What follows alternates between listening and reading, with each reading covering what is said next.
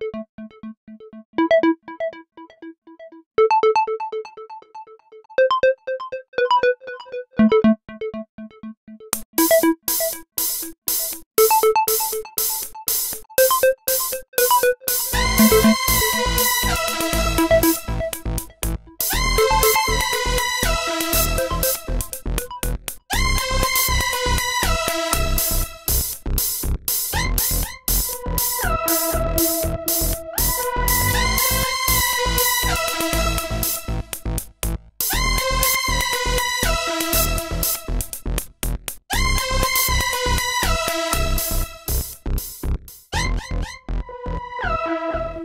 The Liebherr LTM 1050 comes in a standard Liebherr branded box and although this is the version in the Irish company uh, colours of McNally's um, it's only a label on the side that, that, indicates that.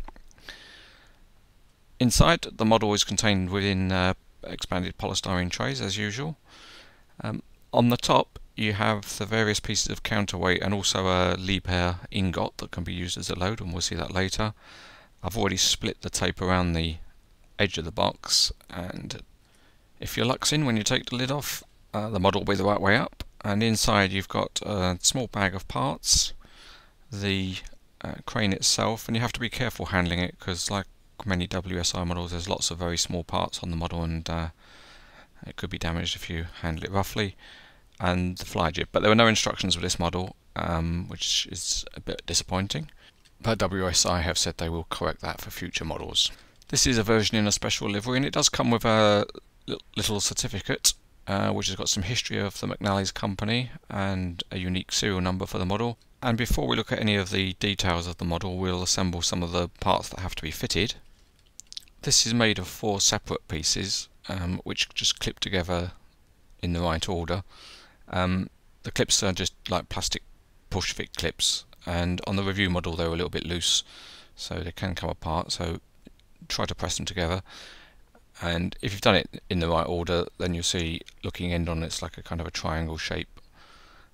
And then with the completed piece you can just pop it on the underside of the crane. And it's again it's just a push fit and uh, it clips into place. And when that's done you've got the counterweight loaded as if it was in an operational configuration with the crane working. It's also possible to show the counterweight um, correctly stowed for when the crane is in uh, road going configuration. So the bottom three pieces just uh, pull off and you can just uh, clip them onto the top of the carrier and when that's done you can lower the boom and the last touch is just to um, fix the hook at the uh, tying on point at the front of the cab and then you've got the crane in road configuration. One last thing we can add on is the swing away fly jib.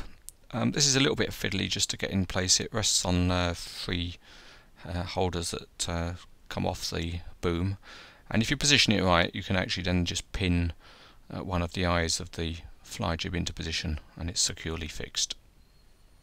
So with the model fully assembled we can have a look at the details and this is a very detailed model and if we have a look at the tread on the tyres that's really good and you can see the outriggers and the lights and the number plate at the front are all very good.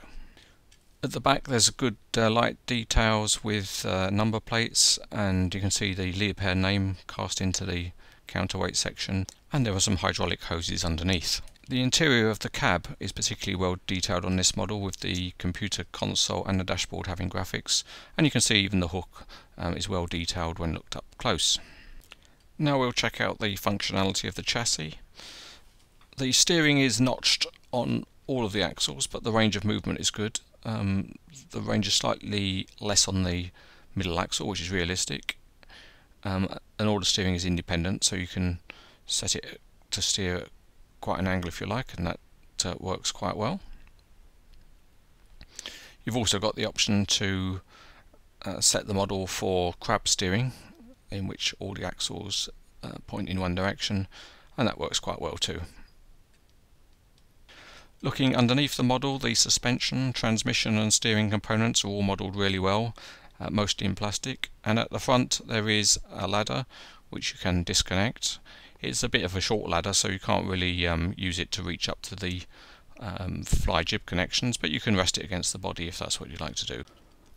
One feature which is really good on this model is the outriggers. The beams just pull out and when you wind the pads down you can see that the um, pistons look like pistons and not screw threads so it's very realistic but the pads have an interesting mechanism because they can be offset from center just like that and the reason for that is, is that then when the crane is driving along the pads can be fully underneath the line of the body and not sticking out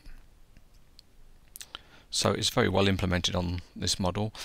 Um, you get four small pins which can be used to pin the pads into place. So you can insert the pin into its offset position like that to secure it.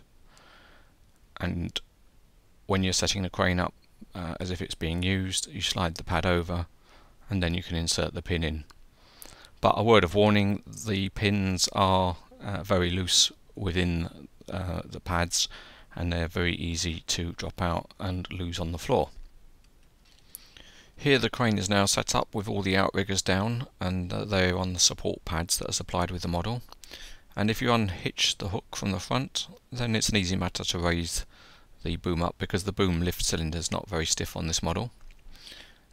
And of course the crane can be rotated quite easily. There's another feature which is the uh, tilting cab. Um, this is used when the operator needs to look up for a long time and save his neck ache. Now the crane's all set up with the full counterweight installed at the back and we can hang the Liebherr weight that's supplied with the model onto the hook. This gives it a little bit of weight which helps keep some tension in the hoist ropes and there's a special key supplied uh, which just fits onto the end of the winch and by turning that you can raise and lower the hook. Also at the back there's another little feature which is a flap which can be opened just above the winch drum and closed. With the boom up it's easier to see some of the details and here behind the cab of the carrier you can see some of the really fine mesh work that's uh, present on the model. There are also plenty of hydraulic lines in the body of the crane. There is another good small feature on the cab and that is the uh, walkway just in front of the cab and you can see that just slides out and uh, pops back again so you can maintain an accurate width on the crane when on the road.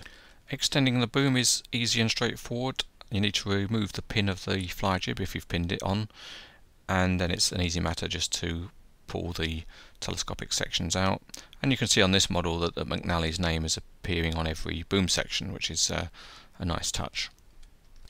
One display option you have is to fit the fly jib. Um, it just opens up and pins into place. Because there's no pulley at the end of the lattice section, you have to open up the, the solid section and then just pin it into place. Fixing the fly jib to the boom is easy. You just uh, pop it over and then using the two long pins supplied you just put a pin through the holes on each side and that secures it to the boom. Now you can disconnect the hoist rope tie-off point by just pulling the pin out and the tie-off point just with a bit of effort comes off. And then the thread can actually just neatly slot out just like on the uh, on the real crane this. Um, but the thread has a knot at the end as you can see it just keeps it in place. But unfortunately that knot means it can't pass through the hook. So you don't have any choice but to cut the knot off and then tie a new one when you're ready. So you can pass a string over the top of the fly jib just like that, pass it through the hook and tie a new knot, uh, attach it to the tie off point and then fix it to the top of the fly jib. Um, that gives you a two full uh, arrangement on the hook. Really this model needs a single line hook which would look better on the fly jib. With the hoist cut-off chain fitted, the model is all set and uh, poses well with the fly jib uh, fixed on and if you fully extend the boom then you get really quite a large model. I mentioned before that the main boom lift cylinder wasn't very stiff so if you want to avoid that feeling of your boom drooping you can insert a supplied pin and the one that seems to fit just uh, pushes into the cylinder although it doesn't look too good um, it's quite obtrusive really. There is one more configuration possibility and that uh, is using the fly jib and you can disconnect the very end of it and get what's known as the short erection jib.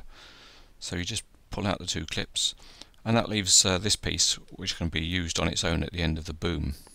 Although you can't adjust the angle of the short offset jib, and it's actually quite difficult to rig the hook properly, it does give you another display option.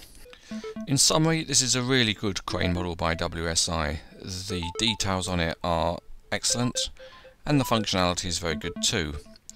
And it looks really good in McNally's livery. No hesitation, it's highly recommended.